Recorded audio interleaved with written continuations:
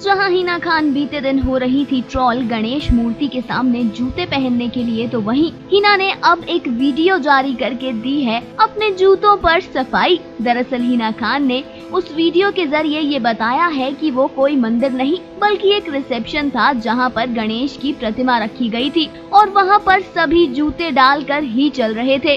जरा देखिए कि हिना खान ने की कौन सी video share. So, this is the place we entered from. And now it's a bye. This is the reception. Bye. Bye bye. Well well, yes yes, जैसा कि हमने आपको बताया था हिना ने इस वीडियो के ज़रिए ये बताया है कि ये एक रिसेप्शन है और यहाँ पर हर कोई जूतों में ही चल रहा है ऐसे में हीना ने ये वीडियो जारी करके ट्रोलर्स का मुँह बंद करने की कोशिश की है फाइनल कार्ड एंटरटेनमेंट डेस्क मनोरंजन से लेकर राजनीति तक, अजब गजब से लेकर ऐतिहासिक तक। हर अपडेट के लिए सब्सक्राइब करें।